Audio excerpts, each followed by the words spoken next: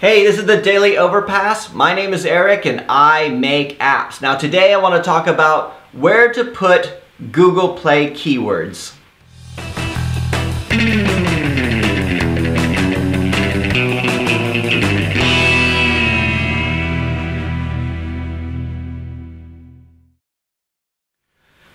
Okay, so today I want to answer a question that came in on video 344 by Hararam Panchal. It's all about Google Play keywords. So, and this might seem like a like an easy question for a lot of you guys who have been using Google Play for a long time, but it can be very confusing for new developers just coming in. So his question was this.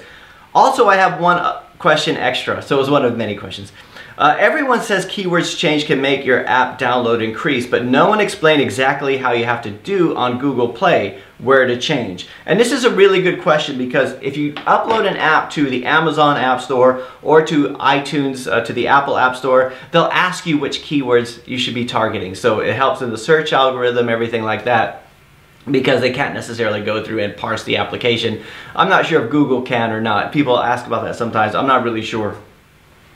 But on Google Play, it operates a lot more like traditional SEO. So you got the on-page stuff and the off-page stuff, and a lot of things go into it that's not just the keywords. So when you put keywords into Google Play, you have to put them in the title and the description and the, you know and into the short description. So have a look at my screen over here to see what I'm talking about.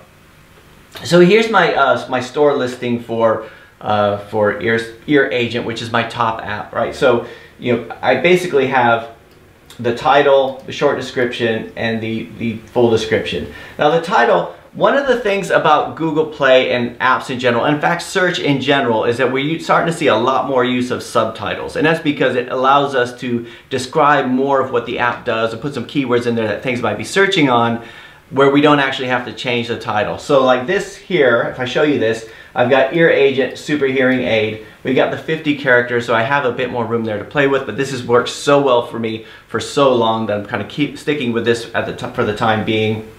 But when I do change something, if I want to introduce a new keyword, the prime real estate is right here because that's the, the most weighted. So that subtitle is very useful because it is flexible. I could change that from time to time and start introducing some new keywords in there and try to see how things rank right? Uh, also, the short description ranks pretty high. Some people will, will say, you know, it's, it's the second biggest or it's, it's after description.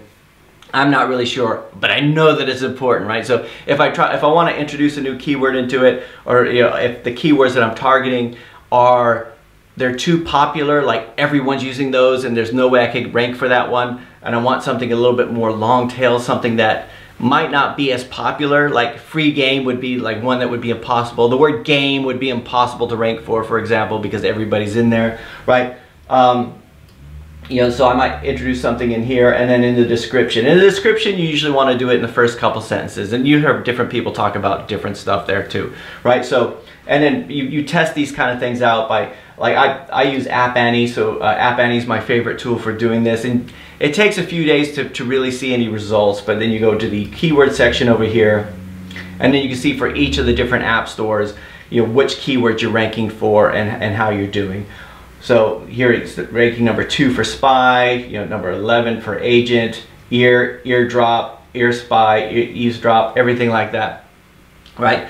So aside from those things, which are the things that you can control directly, there's other things that are, are, are key to the, um, uh, to the search ranking. So where were you gonna put keywords?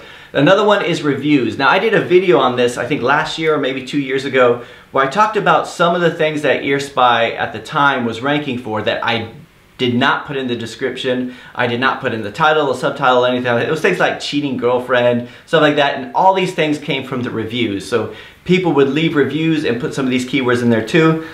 If there's some way that you can word your please leave a review kind of thing, which would allow them to put some keywords in there too. That might help your case too. And also, if you're gonna respond to the reviews, if someone leaves you five-star review, say, hey, thanks for leaving a review, and try to use keywords there too.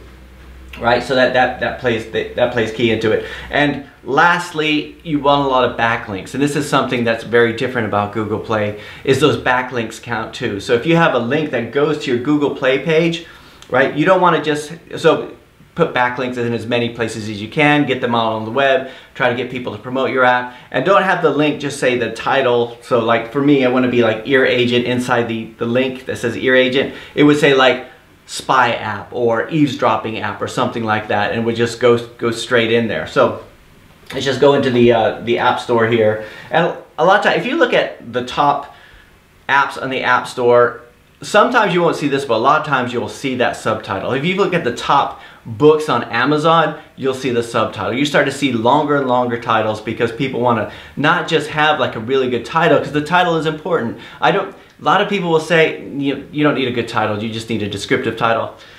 I like having a good title, so this is why the subtitle is, is very important to me.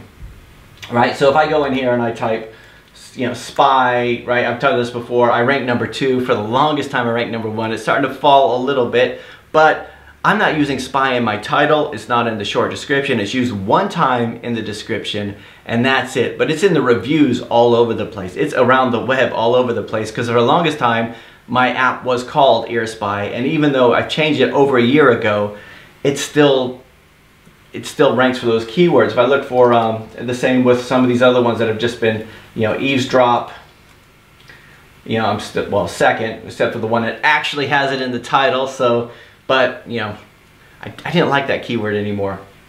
You know, and there's, there's other things here, and you got all the competitors here and everything like that. So, just, I don't want to make this video too long, so it's a really good question. You have to play around with it in your description and your keywords. If you're going to respond to review, do it that way too. Uh, use a subtitle.